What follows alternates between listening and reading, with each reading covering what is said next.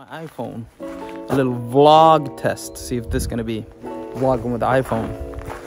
I got the new uh, GH6. I rigged it up. Look at that. Quite fancy, right?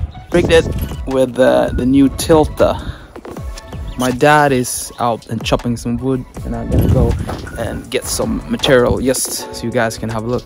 Plan was to shoot some nice video with the GH6 but it's like this is not fair to the camera to shoot something really nice in this boring weather. It's so gray.